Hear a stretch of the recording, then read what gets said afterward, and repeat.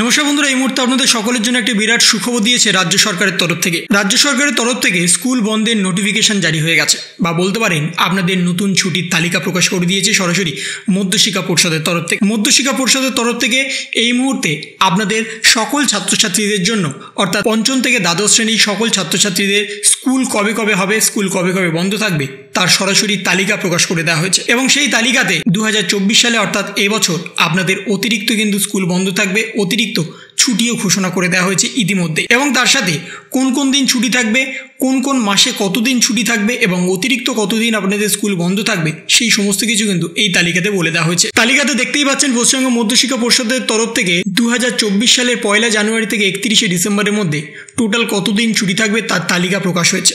এবং সেই তালিকা অনুযায়ী জানুয়ারি থেকে এপ্রিল মাস পর্যন্ত আপনাদের টোটাল চোদ্দ দিন ছুটি থাকবে এবং এই ছুটিগুলো সম্পূর্ণ রবিবার বাদে। তার সাথে মে থেকে আগস্টের মধ্যে আপনাদের টোটাল আঠেরো দিন ছুটি থাকবে।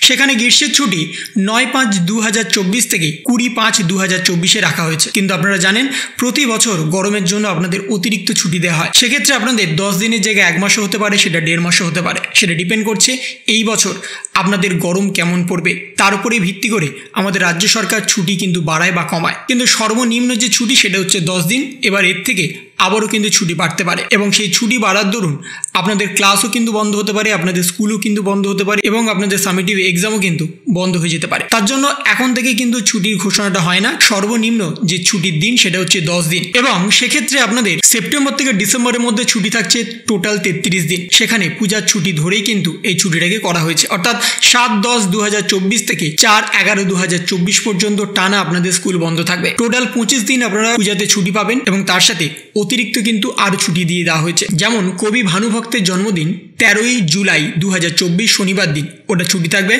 সেটা কেবলমাত্র দার্জিলিং এবং কালিম্পং জেলাতে। তাছাড়াও পাঁচই সেপ্টেম্বর আপনাদের ছুটি থাকবে শিক্ষক দিবস উপলক্ষে। ছাব্বিশে সেপ্টেম্বর আপনাদের ছুটি থাকবে পণ্ডিত ঈশ্বরচন্দ্র বিদ্যাসাগরের জন্মদিন উপলক্ষে। চব্বিশে ফেব্রুয়ারি শনিবার দিন গুরু রবিদাসের জন্মদিন উপলক্ষে ছুটি থাকবে। তিরিশে মার্চ, শনিবার দিন ইস্টার স্যাটারডে হিসাবে ছুটি থাকবে। তার সাথে তিরিশে জুন দু হাজার চব্বিশ, সেখানে রবিবার পড়েছে এবং তার জন্য হুল দিবস আছে সেটা আপনারা জানেন। কিন্তু সেখানে আর একটা আছে করম পুজো। এই করম পুজোর দিনটা এখন ঘোষণা করা হয়নি। আমাদের রাজ্য সরকার নির্দিষ্ট দিন কিন্তু ঘোষণা করে দেবে করম পুজো। এবং সেই করম পুজো উপলক্ষে আপনারা আরও একটা দিন ছুটি পাবেন। এখানে টোটাল সর্বমোট পঁয়ষট্টিটা ছুটি দেখানো হয়েছে এবং তার সাথে আরও ছটা ছুটি কিন্তু এখানে আপনারা পাচ্ছেন। টোটাল আপনারা একাত্তরটা ছুটি পাবেন। এবং তার সাথে আপনারা জানেন যে গরমের ছুটিটা এখানে দশ দিন ধরা হয়েছে। সেই গরমের ছুটিটা সর্বমোট কিন্তু থেকে দেড় মাস হয়ে যায়। প্রতি বছরই এমনই হয় গরমের দরুন। দু হাজার তেইশ সালে দু হাজার বাইশ সালেও এমনই কিন্তু হয়েছিল। সর্বমোট এক থেকে দেড় মাস গরমের ছুটি দিয়ে দেওয়া হয়েছিল। সেক্ষেত্রে মিড ডে মিল থেকে শুরু করে সামিটিভ এক্সাম সবই কিন্তু বাড়িতে আনা হয়েছিল এবং সেখান থেকেই আপনারা সমস্ত কাজ করে আপনাদের গার্জেনরা স্কুলে জমা করতো। এবং এই ছুটির যে তালিকা, এটা কিন্তু সরাসরি মধ্যশিক্ষা পরিষদের তরফ থেকে জারি করে দেওয়া হয়েছে। যদি আপনারা ডেটটা দেখতে চান, কোন কোন দিন ছুটি আছে, সেটি কিন্তু আপনারা ভিডিওটা পজ করে দেখে নিতে পারবেন। তো এই ছিল একটা ছোট্ট ইনফরমেশন আপনাদের সকলের জন্য। যদি আপনাদের ভিডিওটা ভালো লেগে থাকে, তবে লাইক করুন শেয়ার করুন এবং অবশ্যই সাবস্ক্রাইব করুন। তার পাশাপাশি আপনার মতামত কমেন্টের মাধ্যমে জানান। ভালো থাকুন, সুস্থ থাকুন। ধন্যবাদ।